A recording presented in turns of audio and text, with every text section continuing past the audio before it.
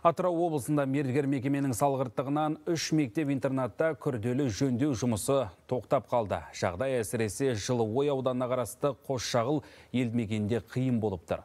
Бұл ауылдың балалары қазір сабақты төрт ауысымда оқуға мәжбүр. Тілшіміз Жандос Темірғали ахуалды біліп келді.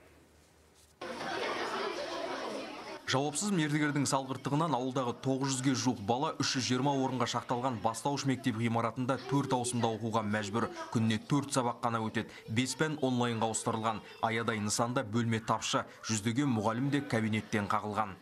Онлайннан білім ала алмайды да бала. Ал көп айтып жатыр ізденіп алуға болады деп. Ол барлық бала ізденімпаз деп айта алмаймыз. Балаларға толыққанды сабақ өтсе дейміз ғой.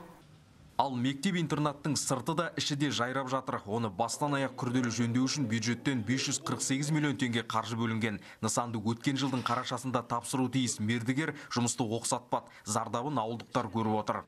бұл мектеп бітпейді жұмысы баяу жүріп жатыр ішіндегі өзбектер үй жағалап есік терезе салып жүр келіп жатқан материалды пгс бәрін сатып жатыр деп мен жиналыста айқайлап шырылдап тұрып айттым 45 терезе 5 есік салынған жоқ күрделі жөндеудің тек 50 проценті ғана аяқталған оның өзі сын көтермейді ал 120 балаға арналған интернаттың бірінші қабатындағы еден сол күйі төсеусіз жатыр әлі 157 миллион теңге игерілмей тұр Ал бұл мектептің спорт залы. Мұнда жұмыс тіпті басталмаған. Құрылыс материалдары қорабымен ашылмаған күйі жатыр. Ал оқушылар дене тәрбиесі сабағын үйінде онлайн оқуда. Шымкентте тіркелген құрылыс компаниясы Қосшағылдағы мектептен бөлек қаладағы екі білім мекемесінің де күрделі жөндеу жұмысын аяқсыз қалдырған. Мердігерге қатысты бірнеше рет іс қозғалды, нүктесін сот қояды. Мекемеге хабарласу мүмкін болмады. Мердігер компанияға жазбаша түрде барлығын жазып отырмын қалған жерлердің барлығын көрсетіп отырмын өткізетін шаралардың барлығын коридорда өткіземіз.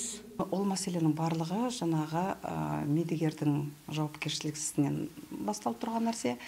Сот аяқталмай әрине ол жұмыс өзінің жалғасын таппайды. Енді шартты бұзып жаңадан істеу үшін әрине ол дейтін жаңадан процесстер керек болады ол уақыт алады.